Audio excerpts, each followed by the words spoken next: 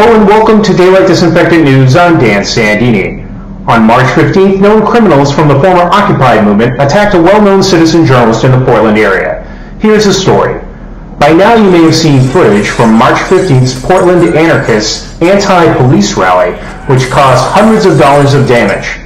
Violent anarchists overturned trash cans, beat on private automobiles, and broke several windows throwing bricks and balls. The Portland Police SWAT team had to be called out to put down the riot, as well as numerous bicycle-mounted patrolmen at the cost of what is undoubtedly thousands of taxpayer dollars. The liberal mainstream media in Portland has once again been complacent in supporting what's left of Occupy Portland by largely ignoring the story. What hasn't been reported so far is the assault on the alternative media which showed up to cover the event. Keep in mind, this was an event to which the public was invited.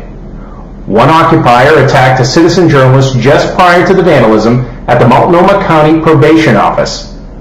Carlton Ray Smith attacked citizen journalist Dan Sandini just as the attack on the county property was about to take place. This was in an attempt to prevent him from photographing the perpetrators. Smith slapped and punched Sandini's camera, hands and arms and continued foiling at him throughout the act of vandalism. Whereas Carlton Smith began his antics prior to or as the vandalism was occurring, this would indicate that he may have had prior knowledge that the attack on this particular building was going to take place at this particular time. It seems Smith is no stranger to trouble. Shown here in this November 2011 mugshot from a trespassing charge, here this past December being put into the county lockup, and finally in this February 29, 2012 booking photo on a felony charge of criminal mischief. Watch carefully now as you can see Smith come out of the right side of the frame, just as the trash barrels are being overturned.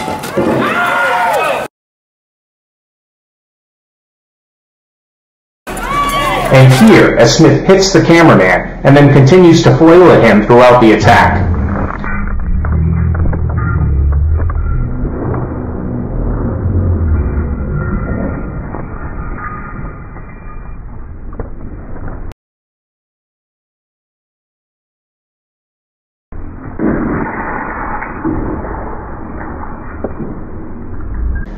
Daylight Disinfectant News will be filing a police report with the Portland City Central Precinct where Carlton Ray Smith was last detained.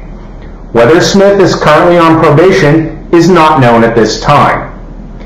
Later that evening, an additional assault occurred against the videographer.